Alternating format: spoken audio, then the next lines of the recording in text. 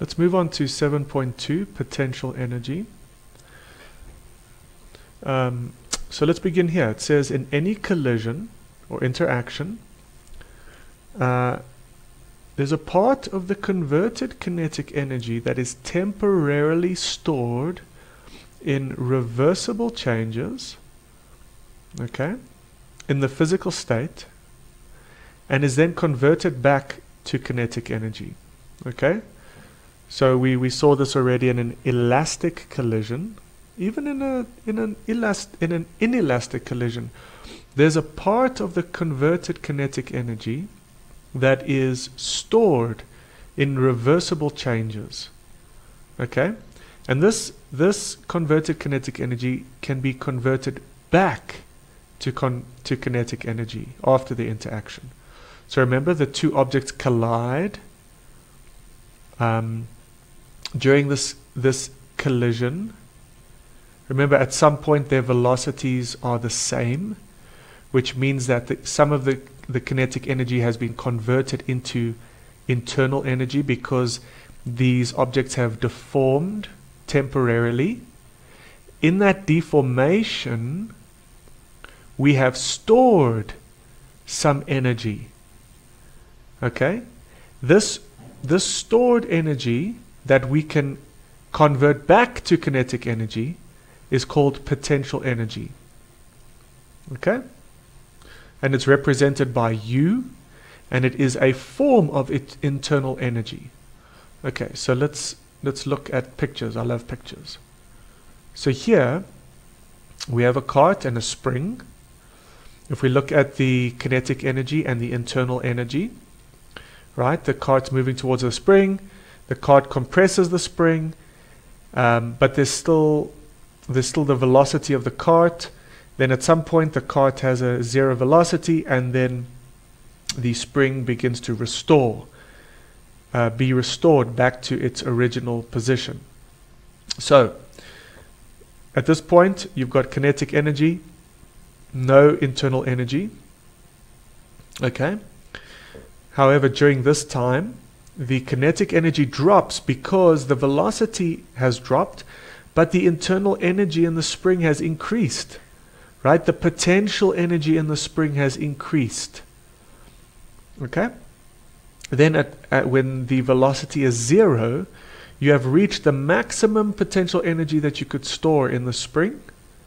Okay, and the kinetic energy is, is then zero, and then it begins to res be restored and convert that potential energy back into kinetic energy. So as you can see, the potential energy now begins to drop and the kinetic energy begins to rise. Okay?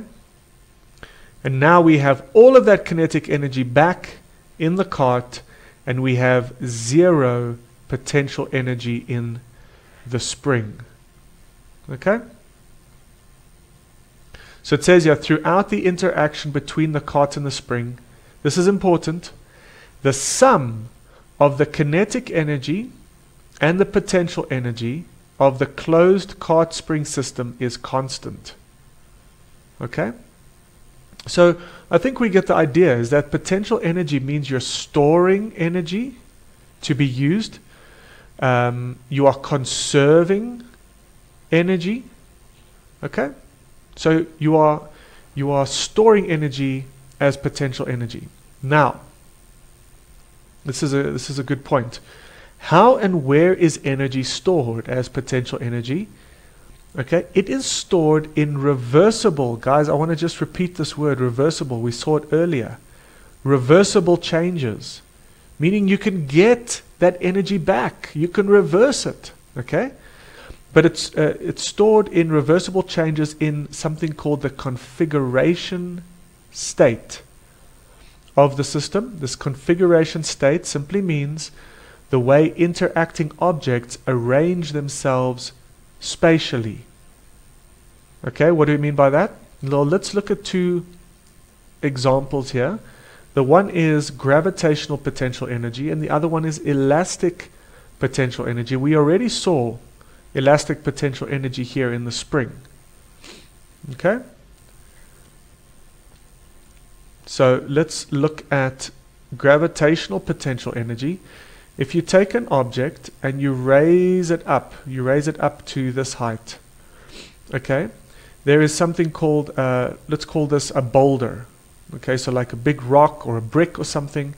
Now you have a boulder earth system, there's the earth, believe it or not. So this is your boulder earth system, okay, and the configuration state is the way these interacting objects arrange themselves. So of course, as you raise this boulder, the potential energy increases because the potential energy, gravitational potential energy, is a function of the arrangement, spatial arrangement. I hope I'm getting I'm getting it through. The spatial arrangement the, the way that these are arranged in space, this, this height here, this x, or this, whatever you want to call it, height, h, okay, the potential energy, the higher this goes, the higher the potential energy. What about the elastic potential energy? Okay, if you take a ball, or you take that spring, and you compress it, or you compress this ball, you are changing the configuration state of the atoms, the way the atoms are arranging themselves spatially. Okay? And if you squeeze them, then, then you're changing the spatial arrangement and you're increasing the potential energy, just like a spring. When you squeeze it, you're increasing the potential energy, and so you're storing energy in the spring. And if you let, let the spring go, it's going to move that way. Or if you stretch the spring, you are also storing energy in the spring so that it wants to move back. Okay? All right. So we know that another important thing is that, ignore this for now. Um, we know that if you throw a ball up, it has kinetic energy in the beginning, maximum kinetic energy. It goes all the way to the top and it has maximum potential energy. And then because it's conserved, all of that potential energy can then be reconverted back into kinetic energy. And we know that it's conserved and it's a reversible change. Okay, so potential energy is the form of internal energy, form of internal energy associated with what? Reversible changes. It can re be reversed, okay, in the configuration state of an object or system.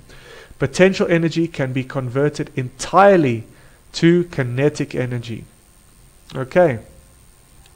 All right. We'll maybe do an example in the next one.